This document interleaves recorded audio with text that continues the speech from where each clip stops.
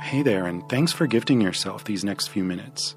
It's important to remember that you're a priority, and allowing yourself even just a few short minutes of intentional reflection can really have a positive impact on the rest of your day.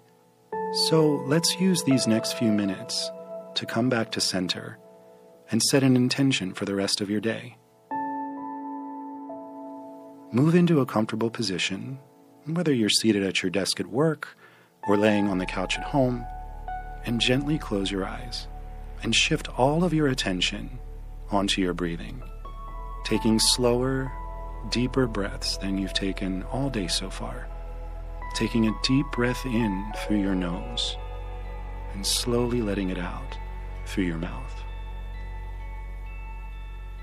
And continuing to breathe that way, feeling your lungs expand out as you inhale and control.